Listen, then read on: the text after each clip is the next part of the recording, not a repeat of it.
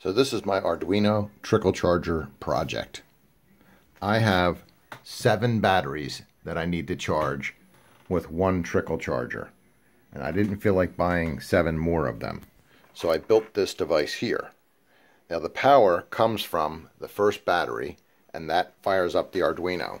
This voltage regulator back here reduces the power down to 5 volts what the Arduino runs off of.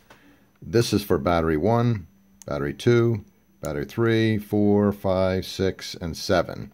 This one checks to see if there's any voltage from the seven leads that go to the batteries. So if you have a battery hooked up, it will charge it, and then it turns this on, which runs to a outlet that you plug your trickle charger into. That's this white wire, and that is my trickle charger. And then your trickle charger wires get connected here and when your relay is on, that power gets transferred all the way over to the battery, which charges the battery. And I have it set up to charge each battery for 24 hours.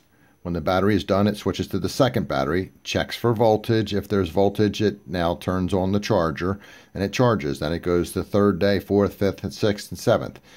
And then it stops and it turns everything off except for the Arduino and it runs again on the 11th day. This way we keep our full battery charged. And then on the 21st day, the full battery gets charged.